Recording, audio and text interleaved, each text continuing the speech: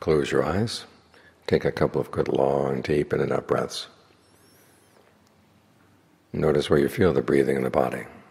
It could be in the chest, it can be the stomach, it can be around the nose. Anywhere where it's easy to see. Focus your attention there.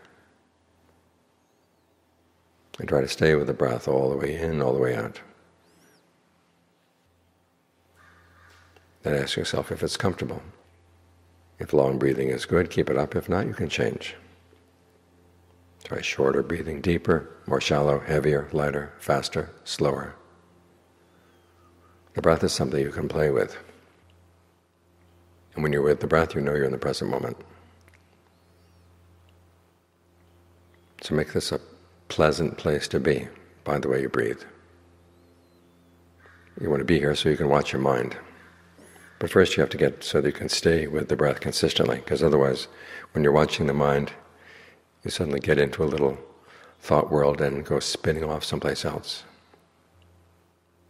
It's as if you're in this solar system and all of a sudden a, a passing star comes by and pulls you away. And you're another system entirely. And you don't know how it happened. That's what you've got to watch out for, because if you want to know your mind, you can't let it have these blank spaces. So try to stay continually with the breath all the way in, all the way out, all the way between the breaths.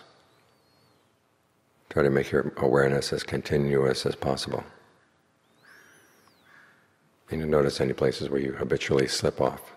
And you have to say, no, I'm going to stay right here, come right back. That way you can begin to see the tricks that the mind plays on itself. Because the mind is a tricky thing. You're thinking about one thing and all of a sudden you're thinking about something else.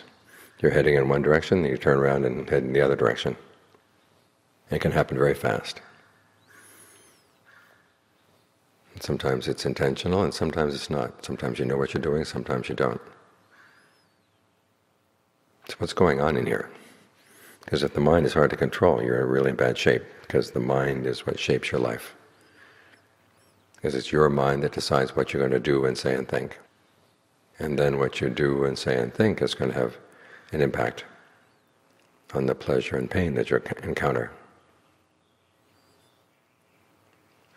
So you've got to get the mind under your control, and the first thing is to be able to watch it continually. So give yourself a good place to stay while you watch. Have a feeling that the breath is suffusing throughout the entire body. And that this is a good place to be. Then you're less likely to be pulled away by any passing star. or any passing whatever. It doesn't have to be a star. Sometimes it's just the sound of the crow, the sound of an airplane, a passing thought, and you're pulled away. You have to ask yourself, what's the attraction? Why can't you stay attracted to the breath here in the present moment? Especially when you make it comfortable like this, and make it suffuse the body.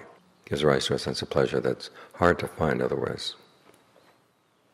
Cool pleasure, consistent, a sense of well-being that goes deep down inside.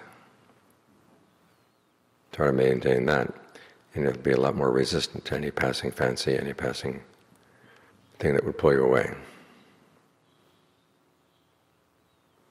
And this way you get to know yourself well. When you know yourself, then you can exert some control. And when you can exert some control, then it's a lot more likely that your life will be a happy life, a good life, a life that causes no harm to anyone else, causes no harm to you, and actually is full of benefits. As the Buddha said, the well-trained mind brings happiness.